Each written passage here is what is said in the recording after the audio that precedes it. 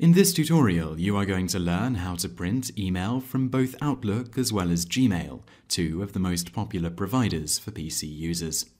First, let's have a look at printing from Outlook. Start the program and double-click on the email that you want to print. The email will open in a new window. Click the File button in the top left, then Print in the menu that appears. You will see a preview of what you are printing appear on the right, and to complete the process, simply click the large Print button. The email will print, and the Print menu will close.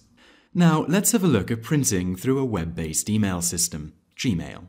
Open your Gmail inbox and open the email that you want to print. The first print option Gmail offers is to just print the one email from a conversation. To do this, click the down arrow in the top right of the email. In the menu that appears, click Print. A window will appear with a sample of the email for printing. Simply click Print to complete the process. Close the tab that has opened and you will be returned to the email view. To print an entire email conversation, click on the small print icon above the emails. The print window will open just as before, but this time the whole conversation will appear in the print preview. Click Print to print this email, and that is how to print an email on a PC.